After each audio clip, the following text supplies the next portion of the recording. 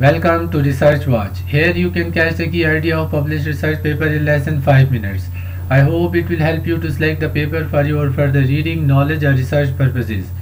Viewers, today's paper is about microplankton community with emphasis on potentially bloom forming species of of Hub Delta in the coastal waters of Pakistan Northern Arabian Sea. Zaib-un-Nisa is the lead author. Viewers, harmful algal blooms recognized globally to affect marine ecosystem. Substantial studies have been carried out to record phytoplankton's community from coastal waters of Pakistan. Of these studies, very few have reported the occurrence of potentially harmful and bloom forming species.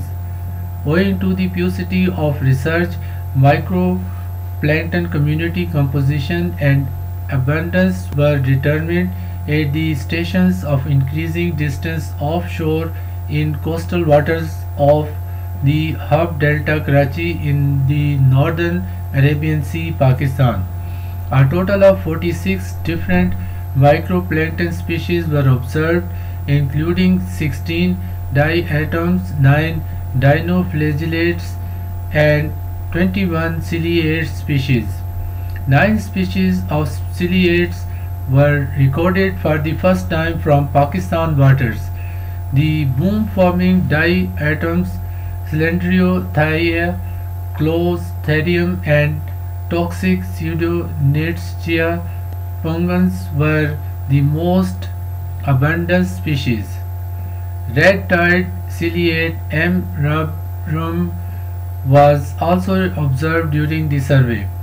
This study aimed to report initial baseline data on microplankton diversity with emphasis on presence of potentially harmful bloom forming microplankton species of the Hub Deltic region in Pakistan coastal waters.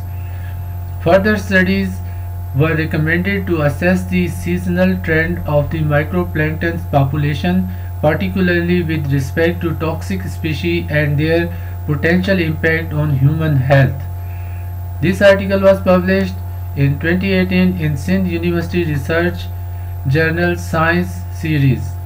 Viewers, I hope you found this video useful. I would really appreciate your feedback. Please don't forget to subscribe and follow the channel. Thank you.